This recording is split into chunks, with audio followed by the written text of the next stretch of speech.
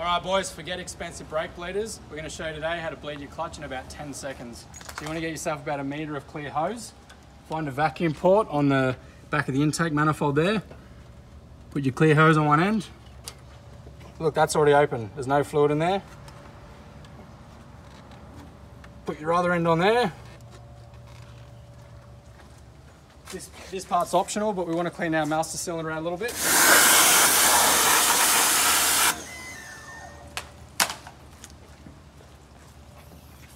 Trying to film this all in one segment. Give it a blow dry.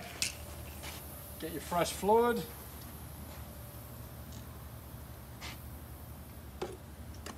Now I'm going to start the car up just using the engine vacuum. You want to pump the clutch pedal slowly. Watch how fast the fluid comes up.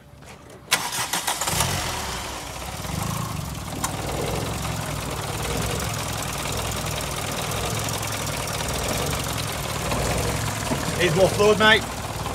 Need more fluid in there. She's already sucked it all down. Didn't think she'd be that thirsty. I suppose it's bone dry.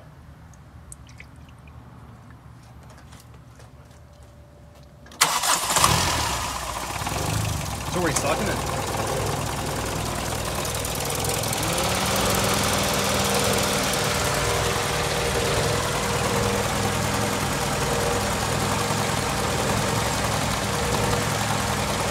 All right. Block your nipple off.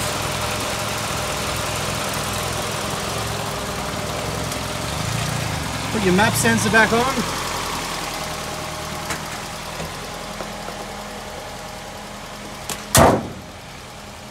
See if it works.